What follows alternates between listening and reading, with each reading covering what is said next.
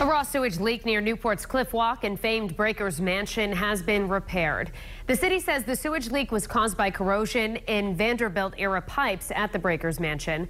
Surfers noticed the sewage coming from a pipe near the Cliff Walk earlier this month. A sample of the water sent to the Department of Health was determined to be contaminated with fecal matter.